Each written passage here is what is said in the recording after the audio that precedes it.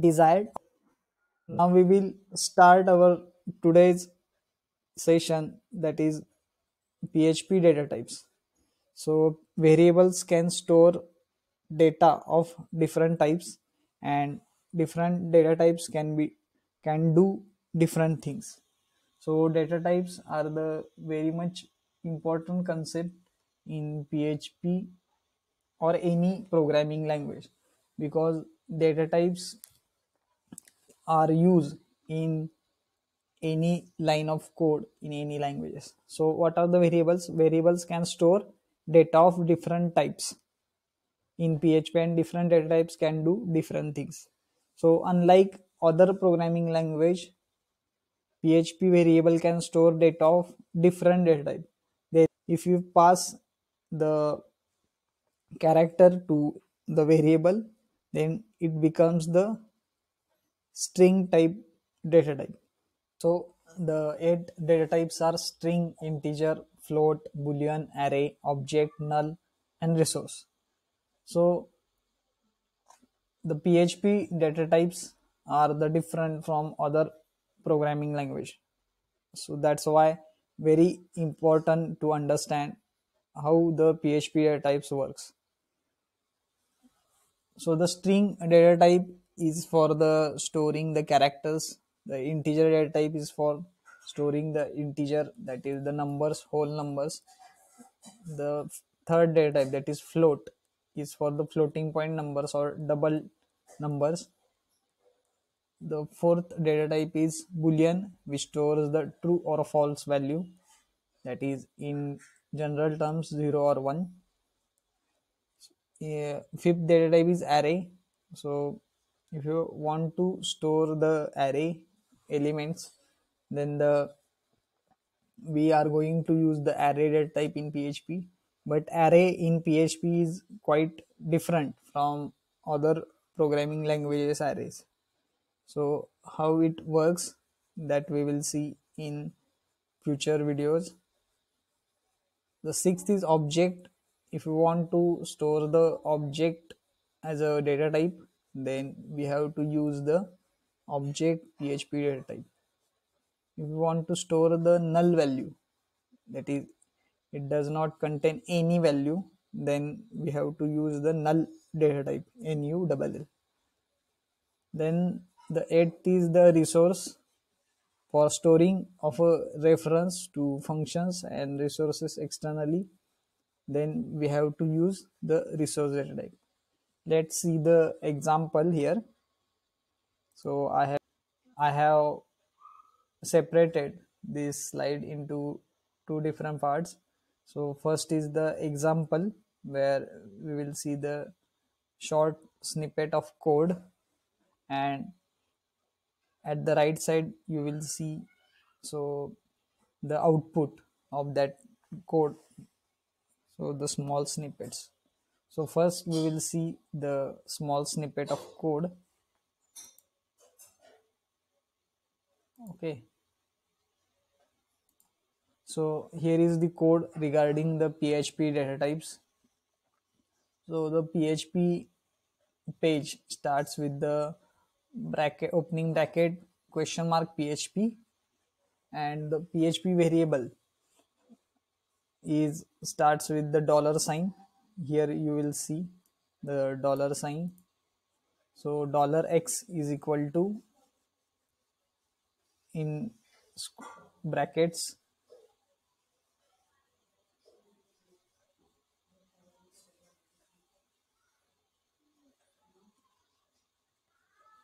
so dollar x is equal to in double inverted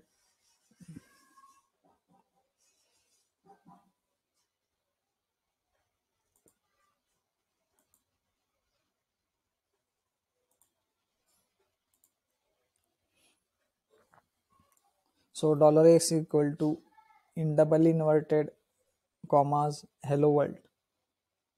An explanatory sign double inverted comma complete semicolon.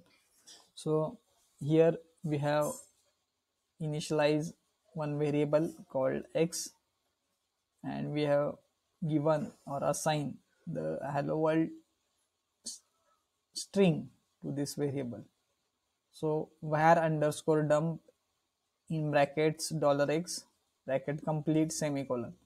So var underscore dump is the predefined function in php to identify the given variable data type. So we have provided here the dollar x. So here var underscore dump gives the data type of variable x here first i will tell you how to save this php file. So you have to give the .php extension to save any php file. Here we have given the name as data type. So the file name is datatype.php and how you, you will run this uh, php file in your browser.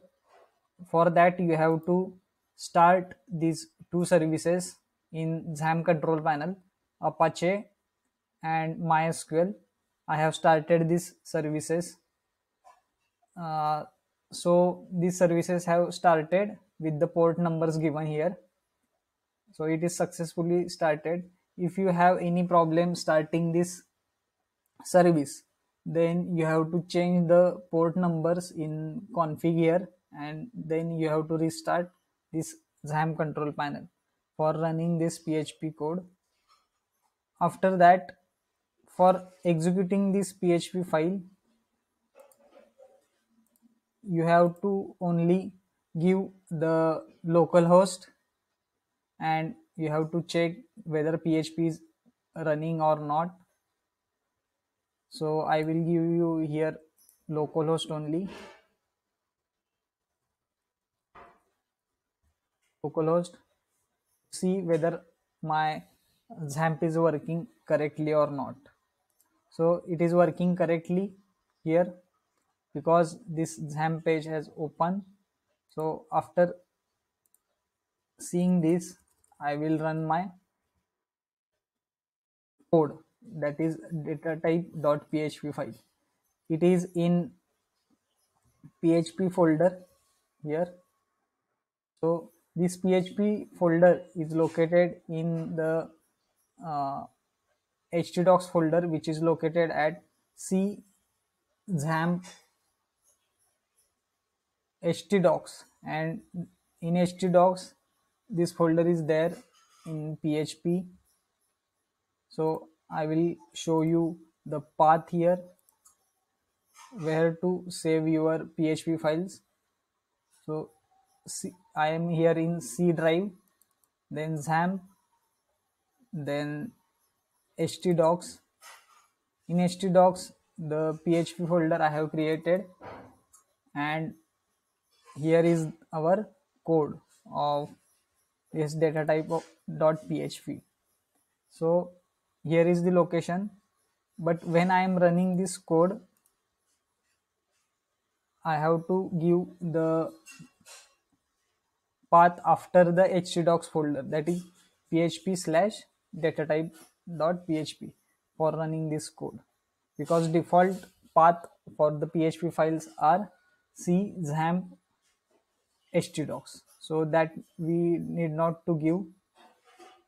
We have to only give the folder which we have created under htdocs folder. So i am running this file. So here the output is shown.